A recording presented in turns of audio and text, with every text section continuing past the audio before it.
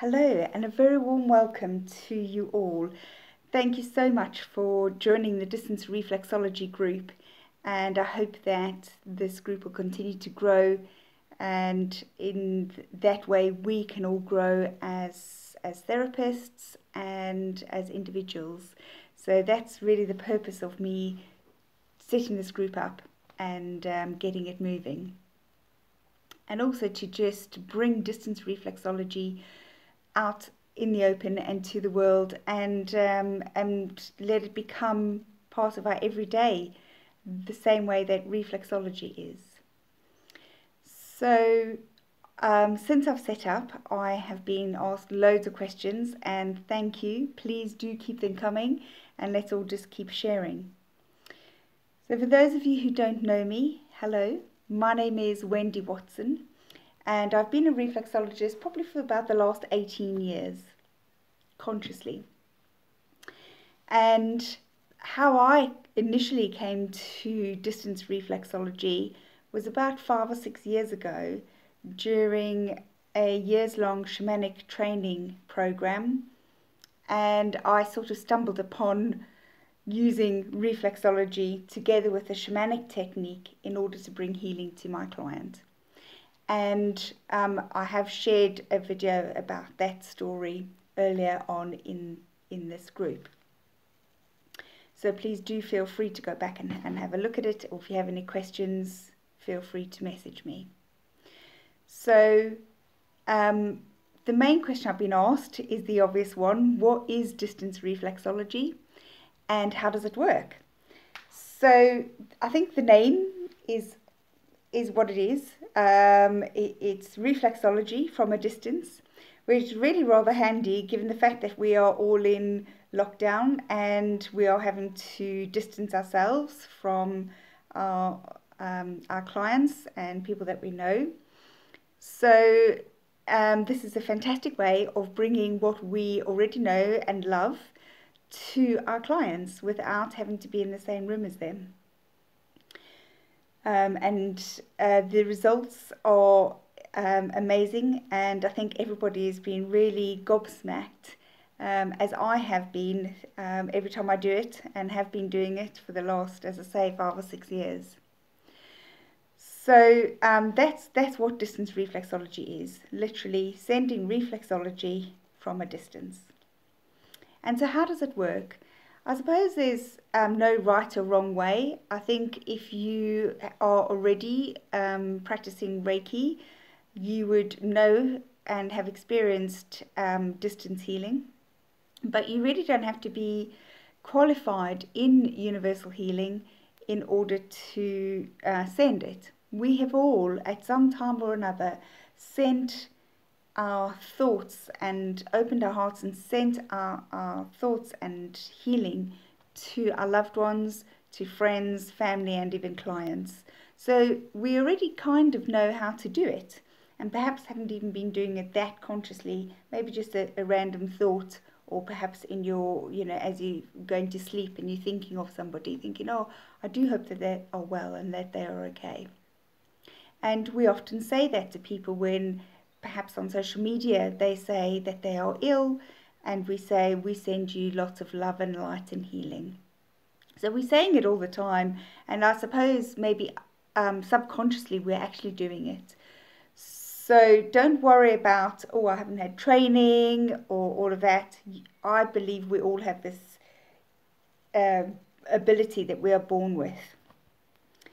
Um, but so it's really about intention, and I think whether we are one to one or whether we are working from a distance, intention is always key.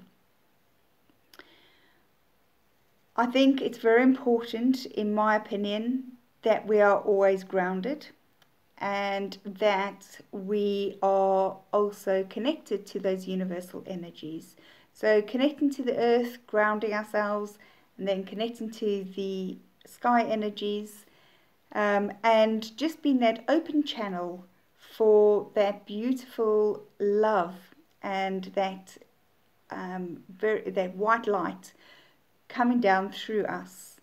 And as we channel this light and this love through us, and then opening up our heart space and sending that beautiful energy out to people, that is healing. And our thoughts are what uh, allow those energies to get to where they're going.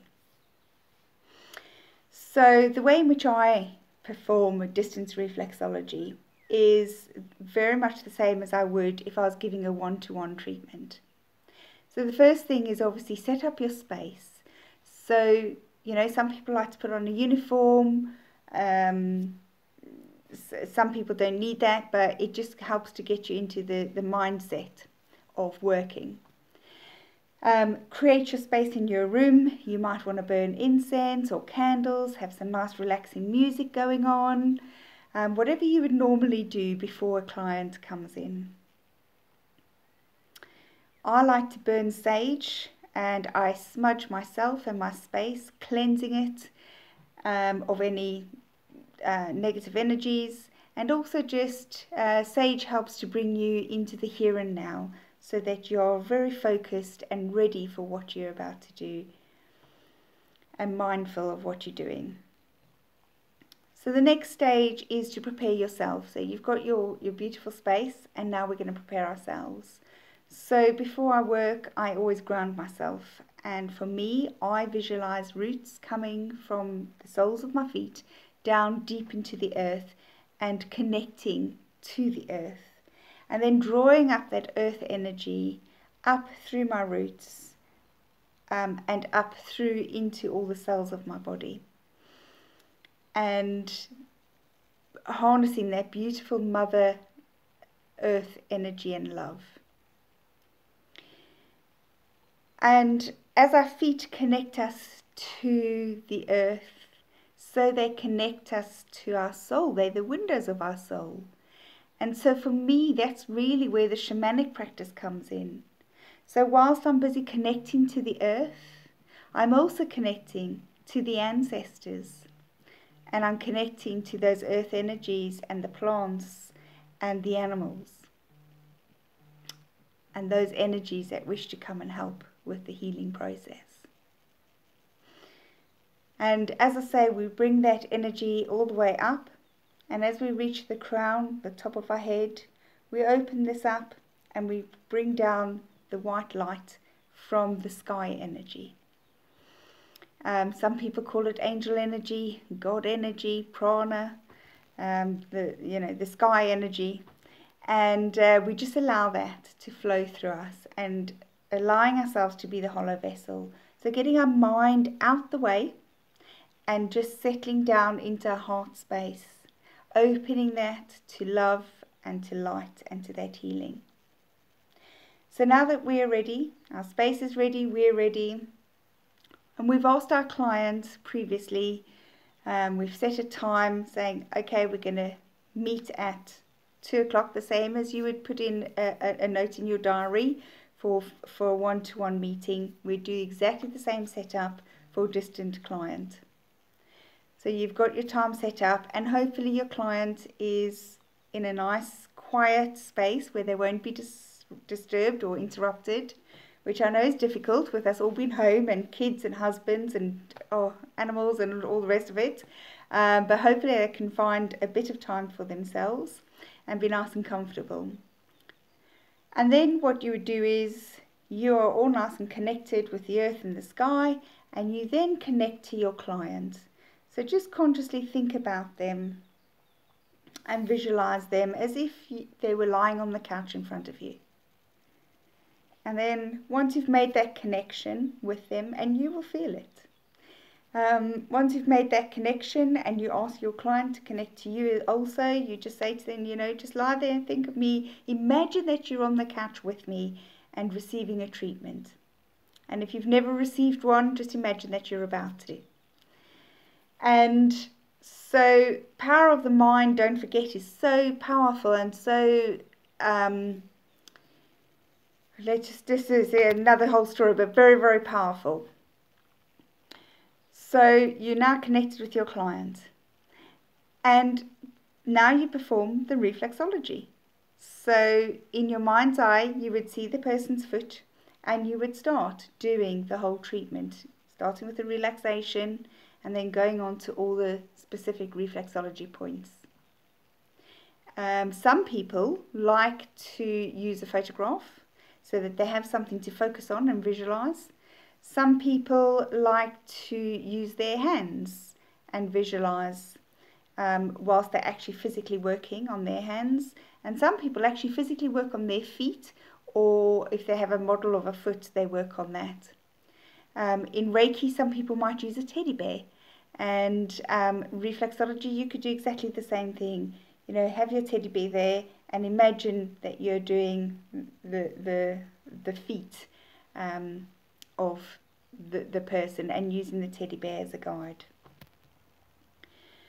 So personally, I also connect to the uh, universal energies, as I say, those um, ascended masters. I use the Reiki symbols um, and I use other symbols that have been given to me over time. Um, and I call in my guides and my ancestors and I also call in any animal allies that may wish to come and help or may be of use during the treatment.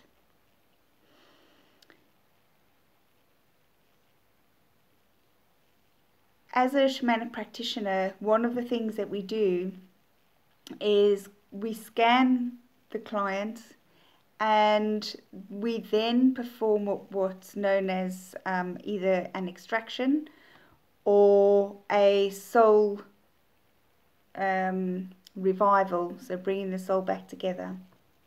And we use a drum to journey to take us um, into the space of the client so that we are able to bring back harmony within the body.